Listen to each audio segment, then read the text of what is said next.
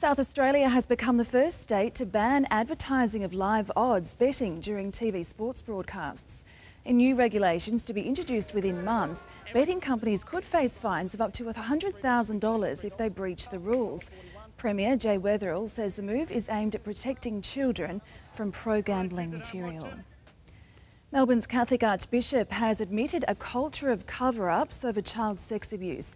Denis Hart says he inherited a painful history of protecting the priests when he took on the role in 2001. But he says the secret payouts of $75,000 to victims was enough. I think it compares very generously with what the state gives for the victims of crime. Australia's highest ranked Catholic, Cardinal George Pell, will be called before the inquiry next week. Internet giant Yahoo has struck a deal to purchase blogging site Tumblr for $1.1 billion. The move by newly appointed CEO Marissa Mayer is expected to target a younger customer base.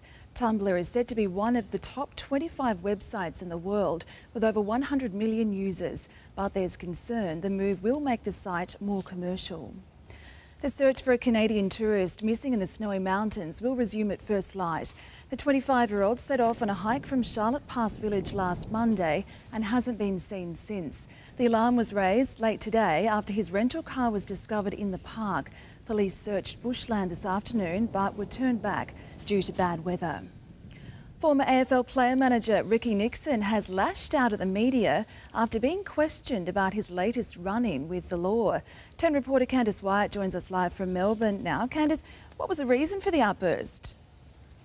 Hermione Nixon simply just wasn't happy about being asked about this incident by reporters, which allegedly occurred in the early hours of Sunday morning. Police will allege he was driving drunk on a suspended licence while using his mobile phone. And well, this is how Nixon reacted when he was quizzed about it earlier this morning. Oh, sorry, slipped. Sorry. sorry. Sorry, slipped. Sorry. Slipped.